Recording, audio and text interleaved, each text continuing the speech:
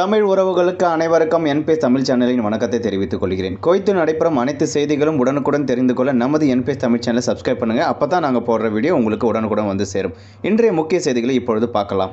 கோயத்தில் பச்சிளங்குழந்தையின் அறுவை சிகிச்சைக்காக அரிய வகையான இரத்தத்தை வழங்கினார் இந்திய பெண்மணி.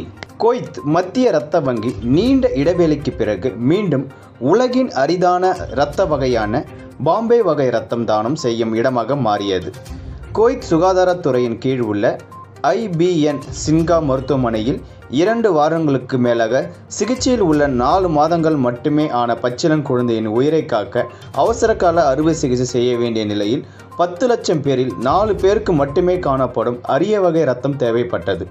இதற்காக கோய்த்தின் ஜாபரியா மத்திய இரத்த வங்கியின் வைத்து இதற்காக இரத்த தானம் நடைபெற்றது. நன்கொடையாளராக வந்தவர் இந்திய பெண்மணியான வினோதா தீபு இந்திரான வினோதா தீபு அவர்களை அவ்வளவு சீக்கிரமாக யாரும் மறந்திருக்க வாய்ப்பில்லை. அந்த நேரத்தில் தமது தளத்திலும் இவரை பற்றி செய்தியை உதவி கேட்டு பதிவு செய்திருந்தோம். கடந்த ரெண்டாயிரத்தி பதினேழாம் ஆண்டில் வினோதாவுக்கு திடீரென்று மகப்பேறு அறுவை சிகிச்சையாக ரத்தம் தேவைப்பட்டது. இந்நிலையில் இந்த அரிய வகையான ரத்தம் கிடைக்காமல் வினோதாவுக்கு திடீரென மகப்பேறு அறுவை சிகிச்சைக்காக ரத்தம் தேவைப்பட்டது. இந்த அரிய வகையான ரத்தம் கிடைக்காமல் என்ன செய்வது என்று தெரியாமல் நின்ற நேரத்தில் பிடிகே அமைப்பின் தீவிர முயற்சியின் மூலம் கத்தாரில் இருந்து இந்த அரிய வகையான ரத்தம் உள்ள இந்தியரான நிதிஷ் ரகனத்துக்கு கொய்த்திற்கு வரவழைக்கப்பட்டார். பின்னர் அவர் வினோதாவின் அறுவை சிகிச்சைக்கான இரத்தத்தை கோடையாக வழங்கினார். இதையடுத்து வினோதா அறுவை சிகிச்சை மூலம் அழகான குழந்தையை பெற்றெடுத்தார். இந்நிலையில் நன்றி மறவாத அவர் என்றாவது ஒரு நாள் கொய்த்தில் வைத்து யாருக்காவது தன்னுடைய வகையிலான ரத்தம் தேவைப்பட்டால் தயங்காமல் தானாக முன்வந்து வழங்குவேன் என்று முடிவு செய்திருந்தார். மேலும் அவசர காலத்தில் இரத்த தானம் செய்வதன் முக்கியத்துவத்தை உணர்ந்த இரத்த தானம் செய்து வினோதாவை இரத்த வங்கியின் அதிகாரிகள் கௌரவித்தனர். மேலும் இரத்த தானத்திற்கு தேவையான ஹியூமியோகுளோபின் அளவை கடந்த இரண்டு வாரங்களுக்கு மேலான சிறப்பு சிகிச்சையின் மூலம் வினோதா பெற்றிருந்தார். செப்டம்பர் மாத இரண்டாவது வாரத்தில் நான்கு மாதங்களே மட்டுமே ஆன கொய்த்தை சேர்ந்த பச்சிளம் குழந்தையின் அறுவை சிகிச்சைக்கு இந்த அரிய வகையான ரத்தம் தேவைப்பட்டது. இந்நிலையில் கொய்த் இரத்த வங்கியின் அதிகாரிகள் பிடிகே பிரதிநிதிகளை தொடர்பு கொண்டனர். அதேபோல் வினோதா குவைத் ராயல் ஹயட் மருத்துவமனையில் டெக்னீஷியன் ஆவார். அவரது தனது வேலைக்கு இடையிலும் தனது கணவருடன் அதிகாலை இரத்த வங்கிக்கு வந்தார். இதன் மூலம் வினோதா மற்றொரு இரத்த உறவை பெற்ற மகிழ்ச்சியில் தான் வேலை செய்கின்ற மருத்துவமனைக்கு கிளம்பி சென்றார். தன் ரத்தத்தை கொடுத்து ஒரு குழந்தையின் உயிரை காப்பாற்றிய சகோதரிக்கு என்பி தமிழ் சேனல் மூலியமாக வாழ்த்துக்களை தெரிவித்துக் கொள்கிறேன். இந்த செய்தி நம்ம பகிரப்போது ரொம்ப சந்தோஷமாக பகிர்ந்தோம். அதே போல் இன்னொரு செய்தியை பகிரக்கூடாது சொல்லக்கூடாதுன்னு நினச்சேன். ஆனால் வாரம் வாரம் இந்த ஒரு செய்தி வந்துனே இருக்குது அது என்ன செய்தின்னு இப்போ பார்க்கலாம். கொய்த்தின் ஃபொரோனியாவில் பச்சளங்குழந்தையை குப்பைத்தொட்டியில் வீசிய கள்ளக்காதல் ஜோடி கைது செய்யப்பட்டனர்.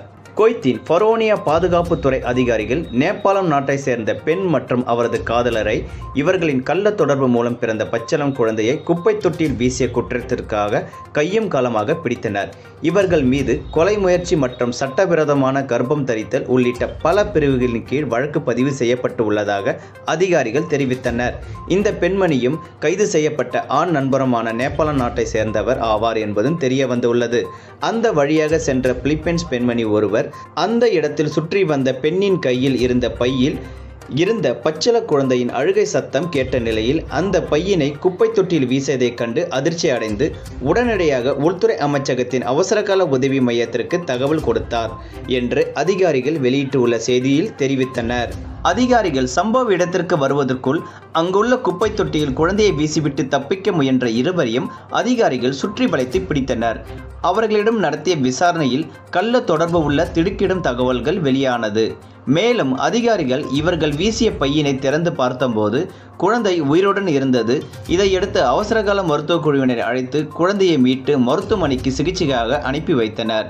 இதேபோல் கடந்த வாரம் பிறந்த பச்சிளம் குழந்தையை இறந்த நிலையில் முஷ்ரப் பகுதியில் குப்பை தொட்டில் வீசிய குற்றத்திற்காக இந்திய பெண்மணி ஒருவர் கைது செய்யப்பட்டது யாரும் மறந்திருக்க வாய்ப்பில்லை.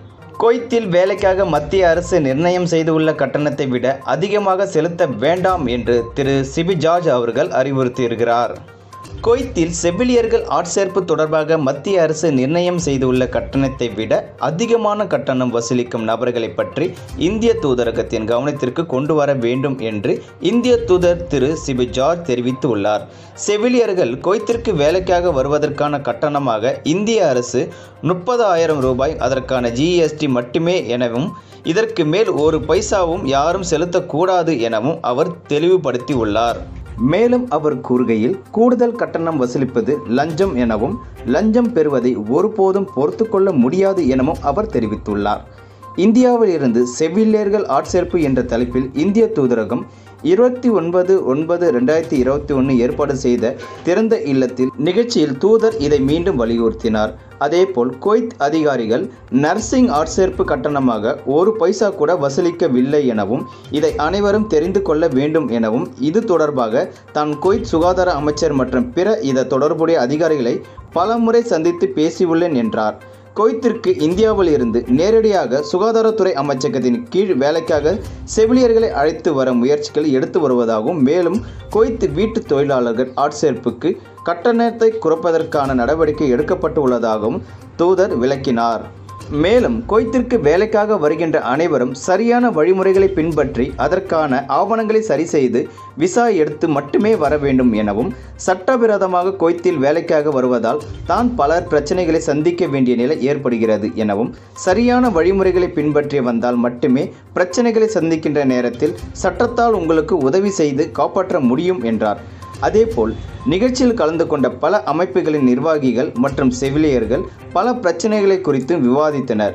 அதேபோல் குவைத்தில் பிரச்சனைகளை சந்திக்கும் இந்தியர்கள் யாருடைய உதவியுமின்றி இந்திய தூதரகம் அறிமுகம் செய்துள்ள பன்னெண்டு வாட்ஸ்அப் எண்களின் உங்களுடைய தாய்மொழியில் குரல் பதிவு செய்து அல்லது வீடியோவாக பதிவு செய்து அனுப்பி அதற்கான தீர்வுகளை உடனடியாக பெற முடியும் எனவும் தூதர் தெரிவித்தார். அக்டோபர் மூணு ஞாயிற்றுக்கிழமை அரபு பள்ளிகள் தொடக்கம் நிலையில் வரும் ஞாயிற்றுக்கிழமை குவைத் சாலையில் பெரும் போக்குவரத்து நெரிசல் ஏற்படும் என்று எதிர்பார்க்கப்படுகிறது. கோவிட் தொற்று காலத்தில் சாலைகள் போக்குவரத்து வெகுவாக குறைந்தது. இருப்பினும் கடந்த நாட்களில் வெளிநாட்டு பள்ளிகள் திறக்கப்பட்டுள்ளதால் குவைத் சாலைகள் போக்குவரத்து திரும்பியது. அக்டோபர் மூணு முதல் ஞாயிற்றுக்கிழமை தொடங்கிய பொது மற்றும் தனியார் அரபிக் பள்ளிகளில் சுமார் அஞ்சு லட்சத்தி இருபதாயிரத்தி முன்னூற்றி எழுபத்தி மூணு மாணவர்கள் வகுப்பறைகளை வாழ்க்கையை மீட்டெடுக்க தங்கள் பள்ளிகளுக்கு செல்கின்றனர் பள்ளி திறப்பு விழாவை வரவேற்க போக்குவரத்து துறை பெரும் ஏற்பாடுகளை செய்துள்ளது. போக்குவரத்தை கட்டுப்படுத்த முக்கிய நெடுஞ்சாலைகளின் பள்ளிகள் அருகில் உள்ள ரோந்து வாகனங்களில் நிறுத்தப்படும். குடியிருப்பு விவகாரத்துறை சேர்ந்த அதிகாரிகள் வீட்டில் தொழிலாளர்களுக்கான போலி அலுவலகங்கள் மற்றும் குடியிருப்பு சட்டமீறல்காரர்கள் பலரை புதிய ரெய்டில் கைது செய்தனர். உள்ளூர் மதுபான தொழிற்சாலையும் அதிகாரிகள் கைப்பற்றினர்.